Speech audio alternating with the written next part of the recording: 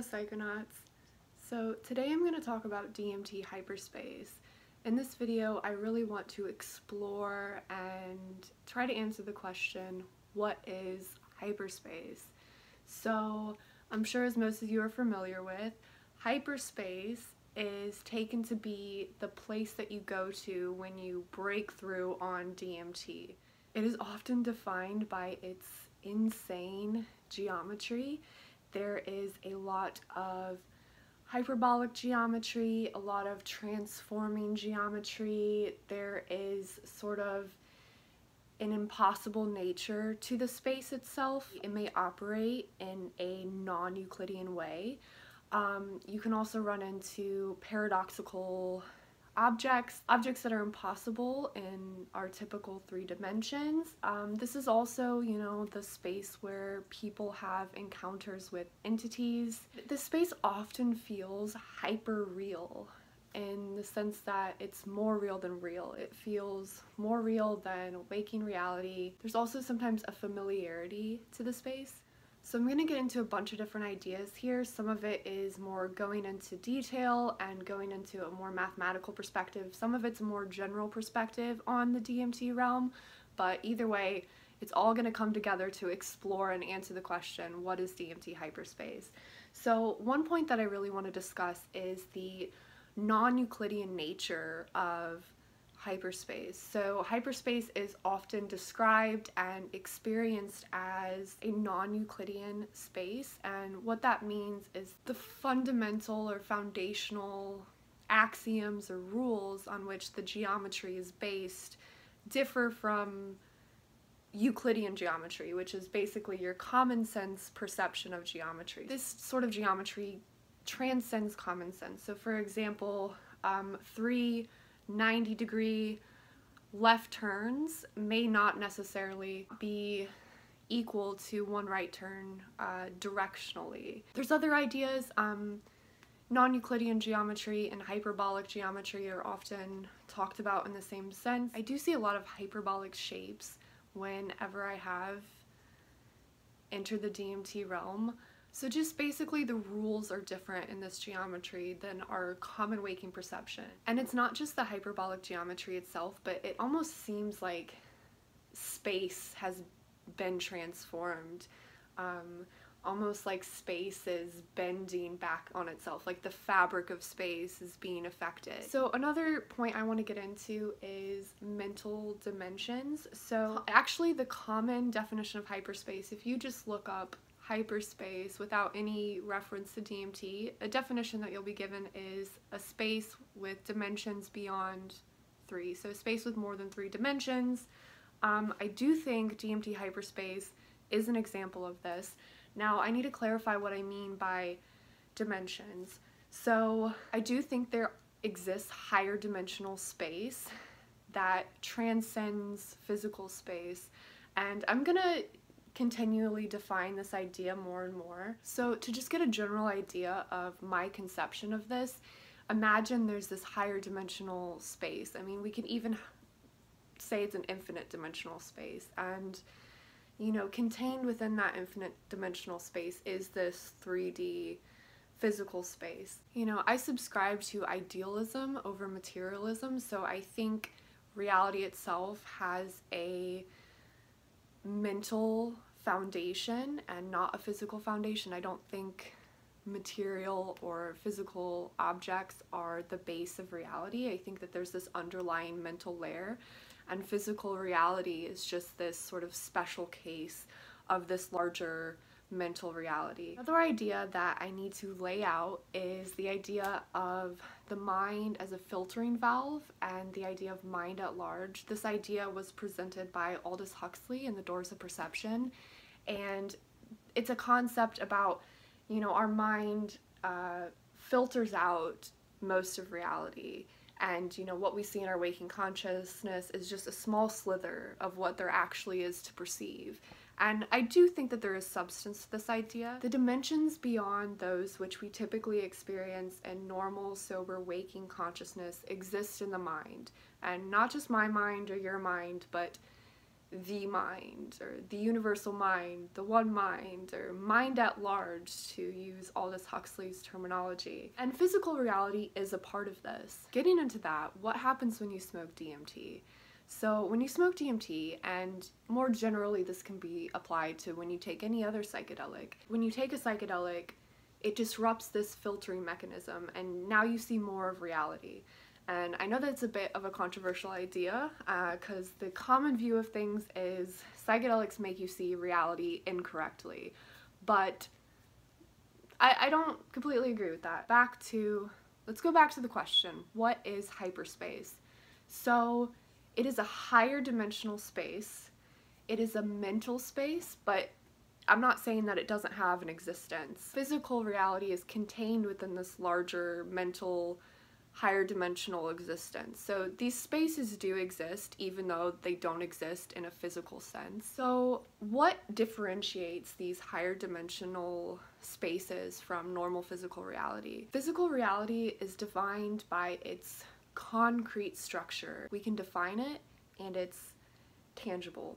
I think physical reality is a lower energy reality and these higher dimensional realities are higher energy. And what that necessarily means is that things can transform more quickly. So, um, in physical reality, it takes a lot of effort or work to uh, for energy to trans to transform to go between forms.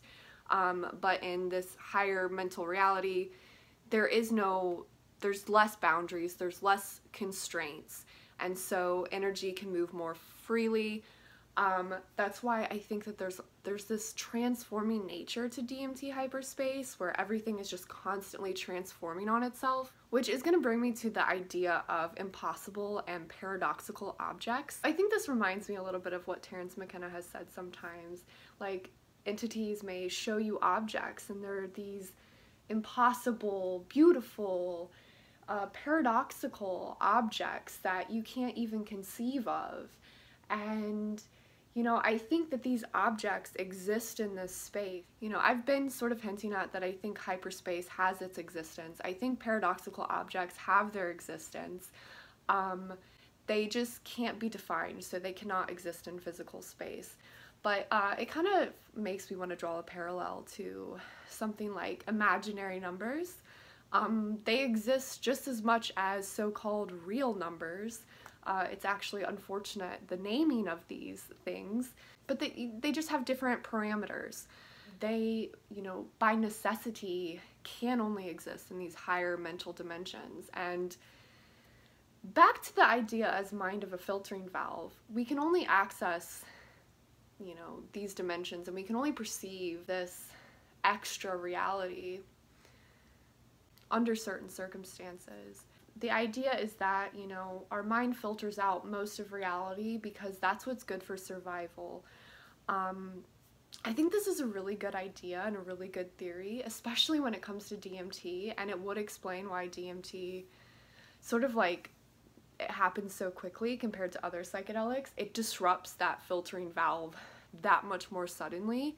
So you get this like this big glimpse of ultimate reality um, before your mind can even comprehend and, you know, get back down to baseline. Okay, so here's a general overview of this idea.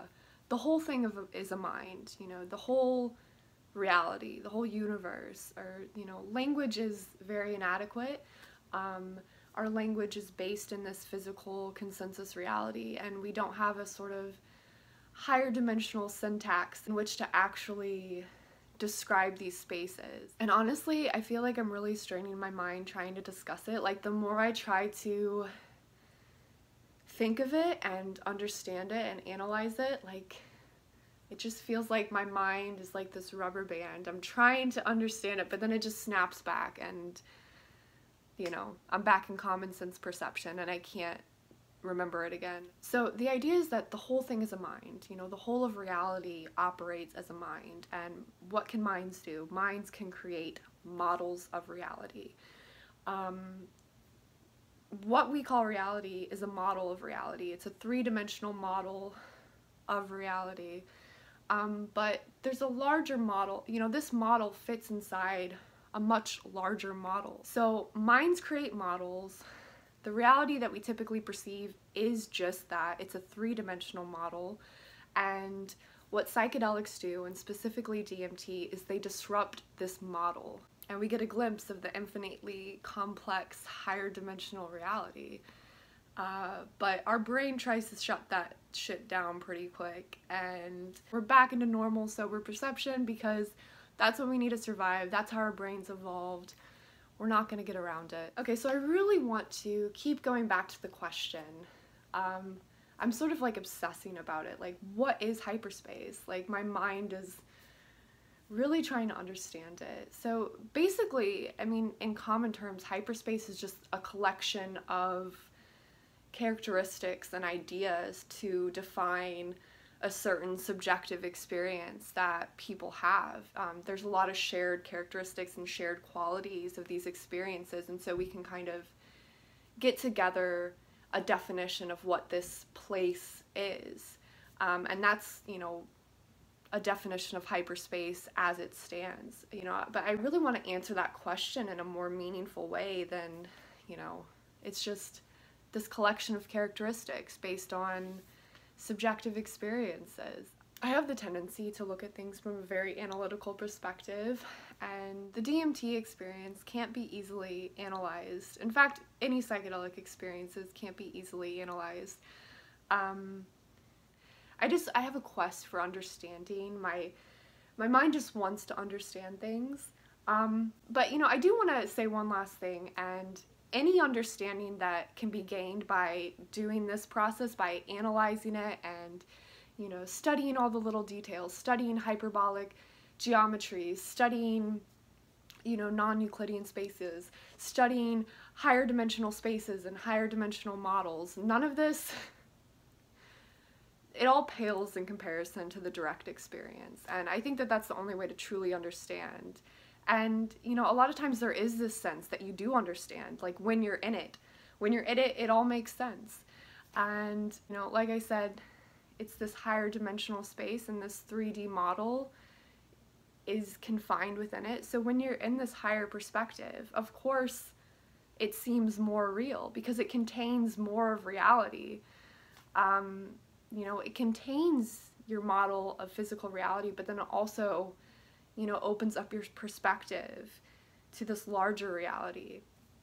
Um, and it can really truly only be understood through the direct experience. But I still think it's fun to talk about. I still think it's fun to try to understand what hyperspace is from a sober perspective. You know, I think the combination of, you know, having the direct experiences and then coming back and trying to, you know, model these spaces is, you know, I find it very interesting. I think it helps my understanding, especially, you know, doing them back and forth, you know, you try to create this model in your mind and then uh, you have the experience and that model is completely shattered and then you go back to the drawing board and you're like, okay, well how about this model? And then, you know, that's, it, it's always shattered whenever you do the experience. So I'm coming to the conclusion of everything I wanted to talk about. Um, to sum things up, I do think hyperspace has an existence of its own.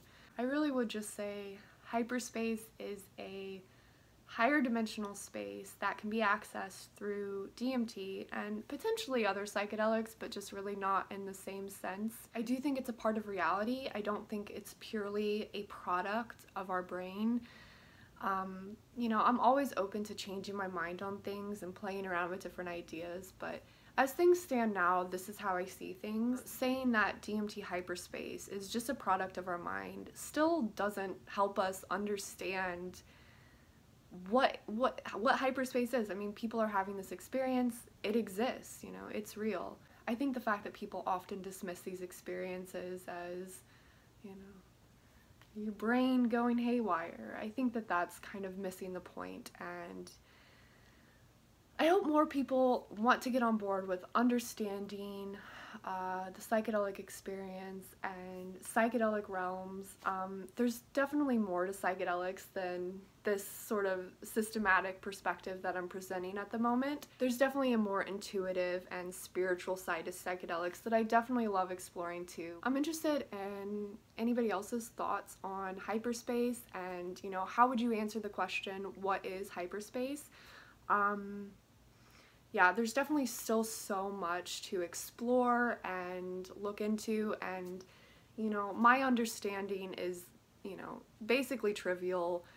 It, it's nothing. So keep that in mind. That is all for this video. Hope you guys enjoyed it. Thank you for watching. I will see you in my next video. Bye.